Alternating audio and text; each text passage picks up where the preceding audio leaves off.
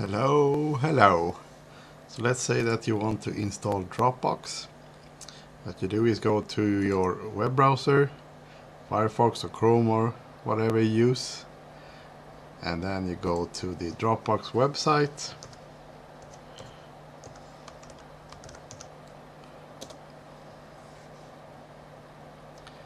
And you go up here where it says download the app. And it recognizes what operate, operating system you have. So Linux so what you select here is Ubuntu. And you need to know if you have a 64 or 32-bit system. I know that I have a 64-bit version of Ubuntu so I click that one. And it will ask me to save the file. Yes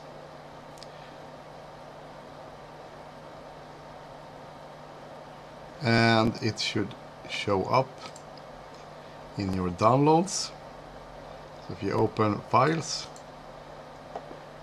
and go to downloads and there it is. So you install it by right click on it and open with software install. And now you can actually close these files and Dropbox and just click install.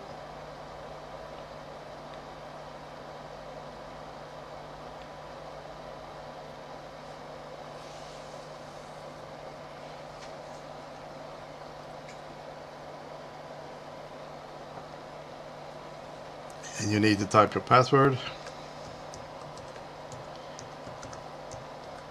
And it's the same password as you log in with and now we start to install Dropbox here and you see the process bar there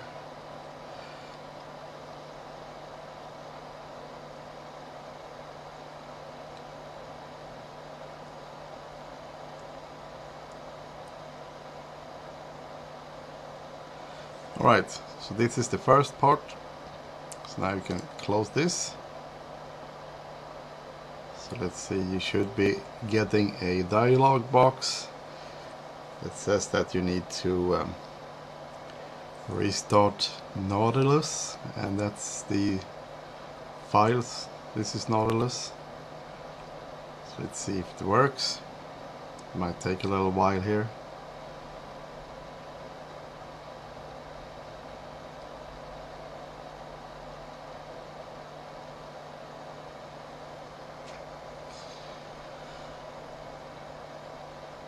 And one thing I like with Dropbox that it has actually a thing called LAN sync.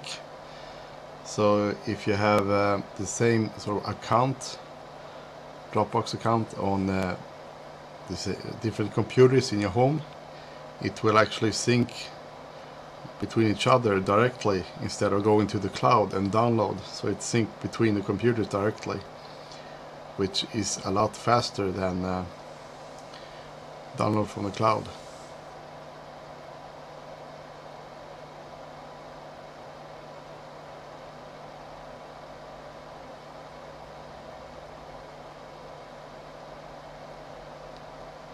And here it comes. It takes a little while. It says Dropbox start required. Let's see, start. Oh, okay, I don't need to reset the uh, Nautilus. So let's start Dropbox and this next. And restart Nautilus. And close. And yeah Dropbox installation. And now it will download Dropbox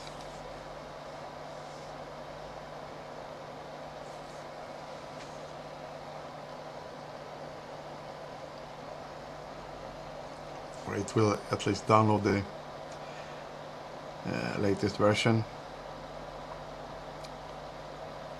It's kind of funny sometimes with, for example, Steam for Windows.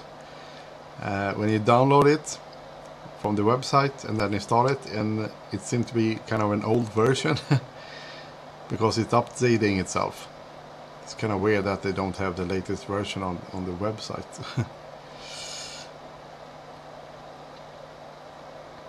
you should think that it will actually download the latest version, but no. Unpacking. So let's see here.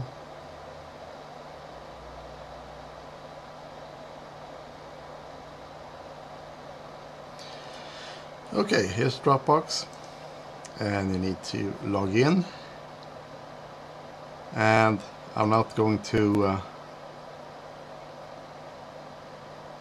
show you my email actually. But what you do basically is to type your email your password for your Dropbox account and then you sign in.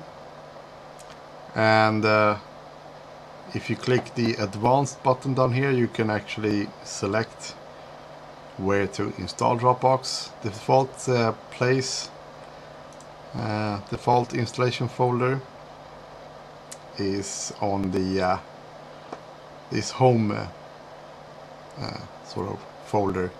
So you will have a Dropbox folder here which is kind of neat. And it will automatically download everything. So yeah that's how you install Dropbox. So see you later